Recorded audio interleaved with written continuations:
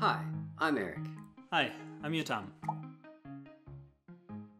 With machine learning, you can now take a picture and have a computer tell you exactly what it sees. I wear glasses, vision care.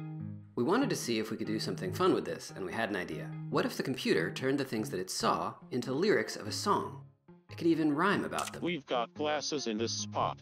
Could be eyewear, but maybe not. There are two parts image recognition for seeing things, and speech synthesis for talking. Hello. For image recognition, we use the Cloud Vision API. You can just send it a picture, and it returns labels for what it sees, along with the confidence scores.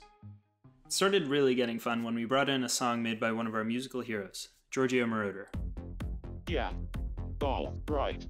And for the computer's voice, we used an open source project called MaryTTS combined with the Web Audio API.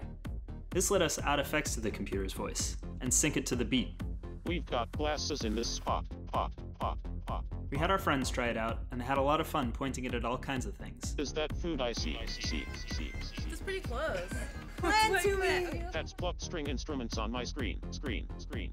Could be profession, but maybe not. Not, not. Looks like world to me. Me, me.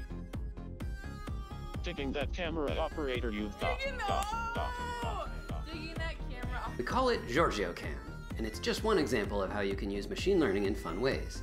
You can play with it and get the code at g.co slash AI experiments.